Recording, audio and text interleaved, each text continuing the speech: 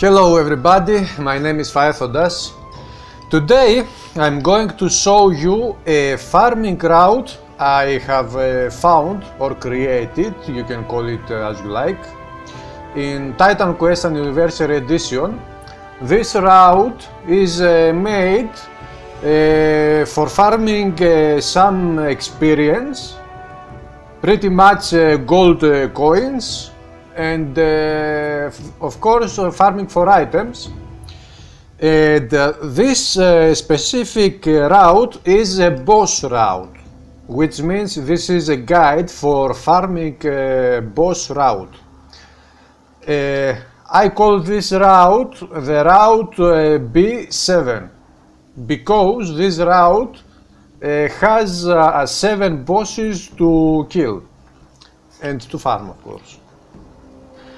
Now uh, let me give you a tip about farming in this game when we go to the options menu, in the general uh, menu, there is the game speed option.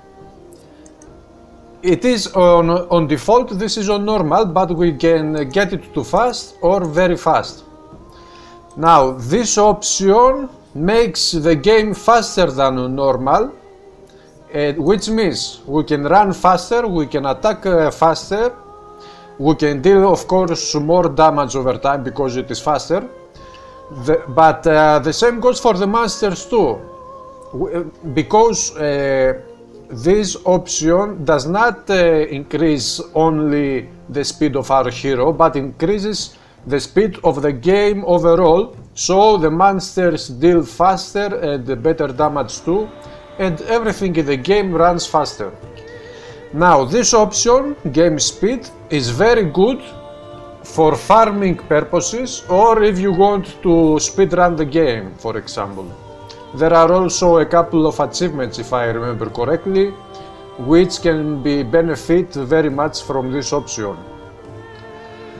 Now, after we put uh, this uh, very fast in the game speed, of course remember you have to have a good build farming build so you can uh, survive because the damage you receive is increased uh, with this uh, very fast option. After we put this option here, we select our character. This is my farming uh, build. It is a nice build. I will make a guide about this farming build in the future, but it is a glass cannon, glass cannon, cannon build. It deals much damage, but it receives much damage too, and it is easy to die with his this guy. After this, we put legendary difficulty, single player, and start the game.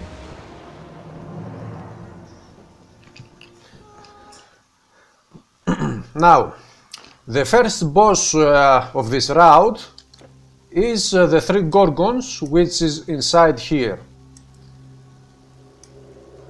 So uh, the first thing I needed to do was to come and uh, activate this rebirth fountain, which is a checkpoint of course, because if I was to, to use uh, the waypoint, this is, this is the waypoint or the portal, I had to run every time when I wanted to make this farming route, I should have to run all of here and come here and here this is the last checkpoint before before this boss, so the we start this farming route from this point.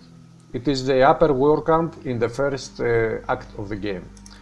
Let me activate my stuff here, take this one and run to the boss.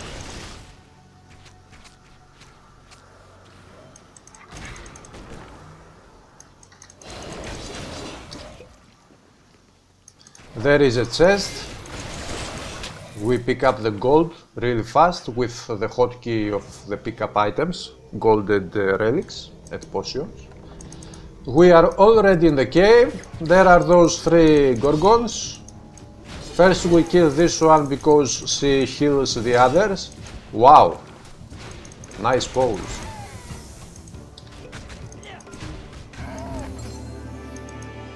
There are many chests in this boss and we can find legendary items also from these chests. There is this majestic chest. Nothing here, only golden potions and money. Well, that's it for the first boss. It was in this area. The second boss is in the Helos, which is the first village of the game. It's the first uh, boss of the game. This uh, route, the B7 route, has uh, it doesn't have uh, the big bosses like Typhon or Telkines and stuff like that, but it doesn't matter because in this game uh, the best items can be found even from the, the lowest quality bone pile lootable object, also from bosses like this one.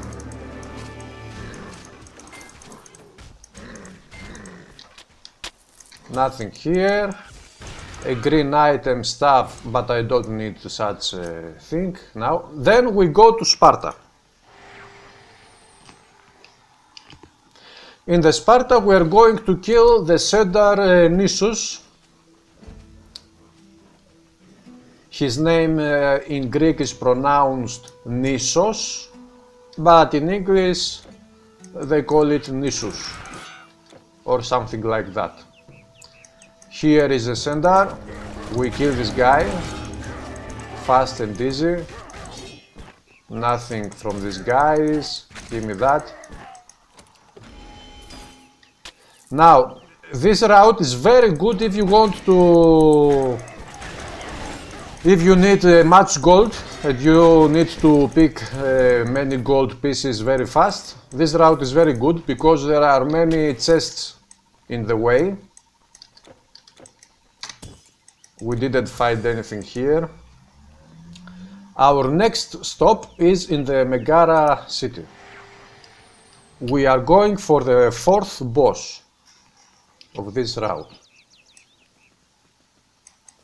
We run all the way up here. There is a hero. One more hero. Nice, we get more XP from those heroes. There is a chest. It is a small chest, but you never know what you can find. There is a battle marker, good. In this place there are very often uh, uh, shrines. I would say battle markers, but uh, it is shrines, not battle markers. The, in this place we could find um, a chest or a hero, but this time there was nothing here.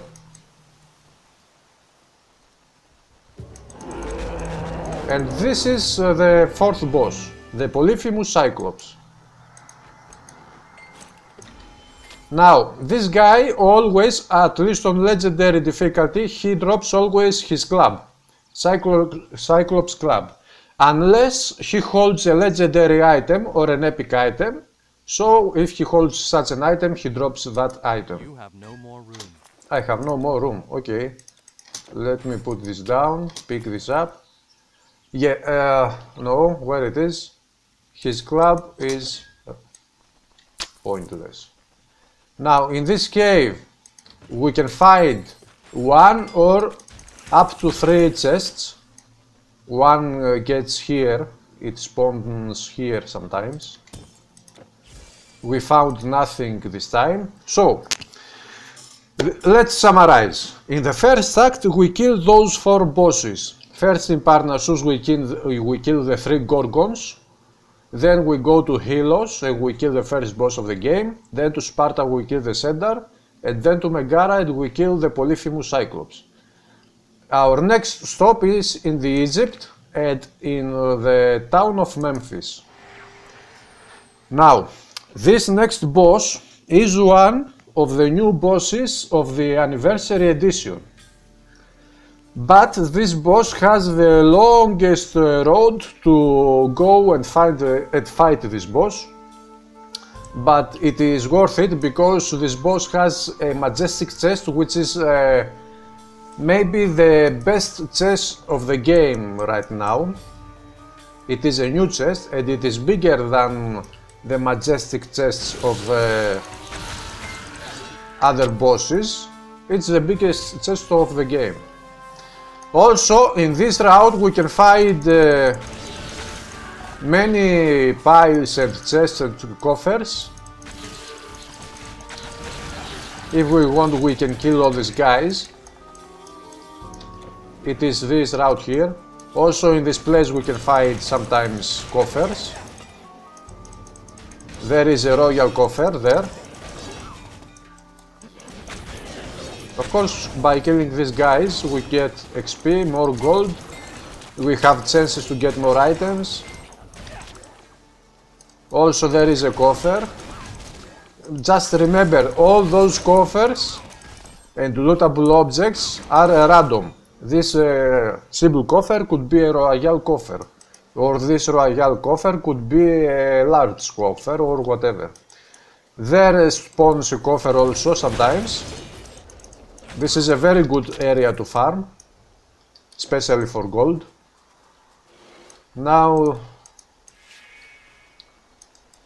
there is a bone pile. We go all this way up more bone piles.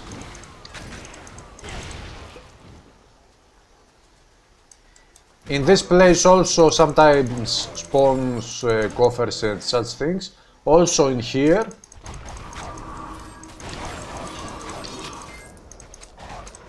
Let's open this coffer and uh, get the gold from the ground. Now here is the boss we need. First we kill those birds we open the bone pile. And this is a majestic chest uh, we are talking about. But I'm going to die now, and this is not a good thing to happen. Remember, this is a glass cannon build. It deals awesome damage, but it receives awesome damage too. This is the boss, one of the new bosses of the Anniversary Edition. There you have it three relics uh, altogether.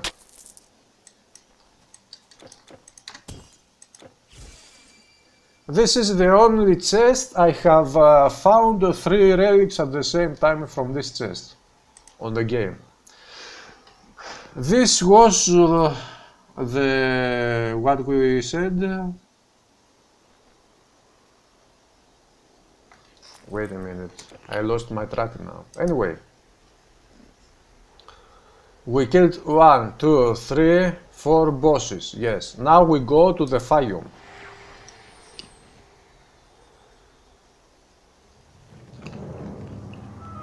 Oh no, this is uh, the fifth boss.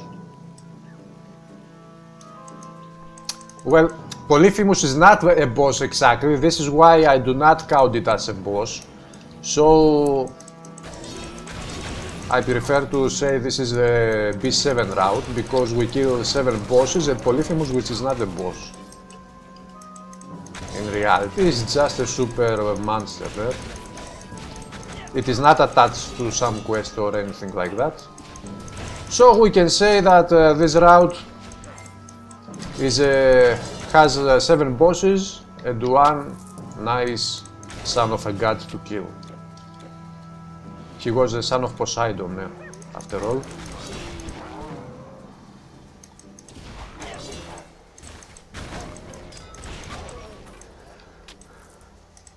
That was the fifth boss here, in this place. This is from a quest we get from the Fayum town, city, oasis. Now we go to another boss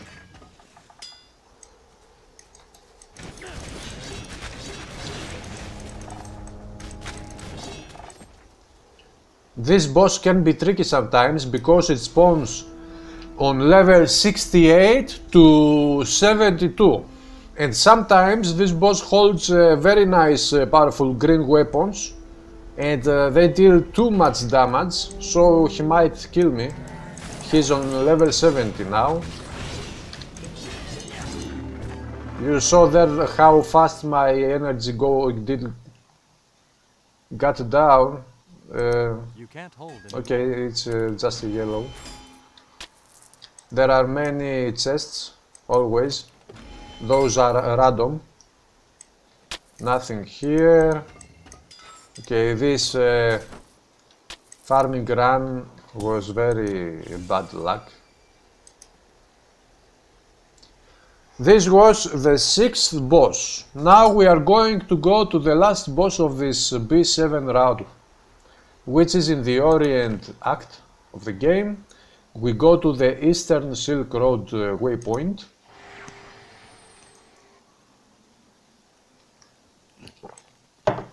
We drink some water. Sky smiles on the traveler. Earth to ah, farewell. Okay, potions are enough for now. Now we run backwards. First we have to kill these guys because they are going to hunt us down if we do not kill them.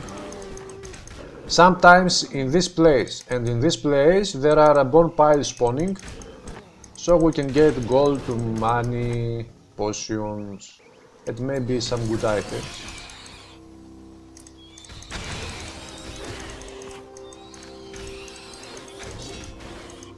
There is also a pile. What is that thing over there? I don't know. In this place sometimes spawns a shrine, which is very useful. Here, exactly in this place. Now, now we move here, we kill those tigers, we open the chest, nothing here, very bad luck today. Bone pile. And now we go here. This is the boss, the big Yeti boss, the Gargantuan Yeti. 73 level boss. But, and in this place always we can find those three chests and this majestic chest. Those are standard.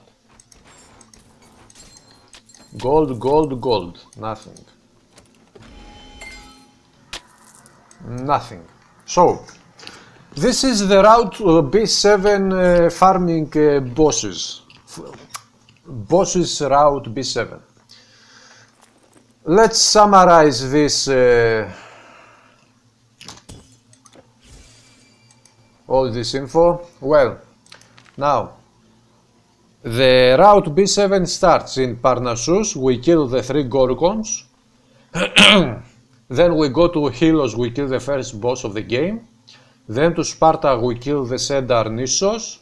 Then to Megara, we kill uh, the Polyphemus Cyclops, which is not a boss, but it is a sub-boss, let's call it this way.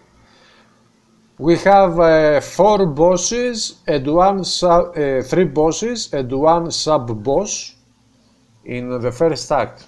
Then in Egypt, we go to Memphis, we travel and kill the new boss of the anniversary edition. After that, this is uh, the fifth boss of uh, the fourth boss of the game. After that, we go to Fayum. We kill we kill the in the desert uh, those raiders, one boss. Then we go and we kill this Scorpion King, the sixth boss of the route and then we go to the Orient, Eastern Silk Road, we go backwards inside the mountain, and we kill the Gargantuan Yeti. Now, some items I have found, one of the best items I have found from this uh, route is uh, this one, Bow of Heracles. This is a legendary bow. This bow dropped from the Gorgons. And of course, uh, we can find uh, such good items from all over the game. Thankfully this game doesn't have specific locations to farm, so whichever area is uh, more uh, favorite to you, you can go there and farm uh, as long as you like, as much as you like, and maybe find uh, the best items in the game. Okay guys, that's it the B7 farming bosses route. This is one of the routes. In future videos I will show you some more routes with more bosses, different locations, different mixes of those locations. and uh, hopefully you can find something interested in these routes and you can have some good farming hours out of this game. Thanks for watching, hit the like button if you like this video, share this video, subscribe if you haven't uh, yet, because more videos are coming, many more, more videos are coming, and I'll see you on the next video, have fun!